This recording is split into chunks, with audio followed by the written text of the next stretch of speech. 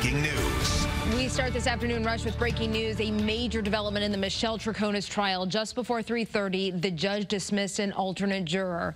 Channel 3's Eliza Kruczynski is at the First Alert Desk with the latest from the courtroom this afternoon. Eliza. Stephanie, court is still in session at this hour, but something that happened during the lunch break prompted the judge to take immediate action. This alternate juror was dismissed after lunch.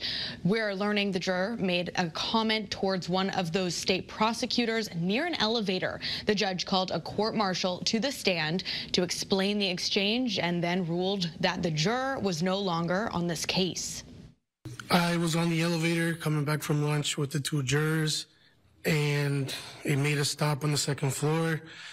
Um, attorneys uh, Moran and Manning tried to get on the elevator. Uh, they turned back around.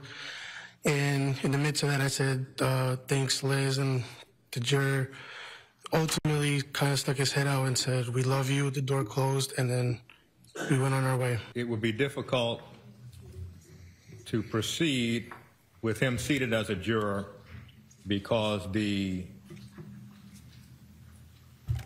impartiality and fairness of that juror this means there are now six jurors and four alternates left in the case. Testimony resumed as normal about 30 minutes ago. Channel 3's Matt McFarland is inside of the courtroom where the Dulos family nanny has spent much of the day on the stand. He will bring us up to speed on her testimony live here on Eyewitness News at 5 and 6. At the First Alert Desk, Eliza Kruczynski, Channel 3 Eyewitness News. Eliza.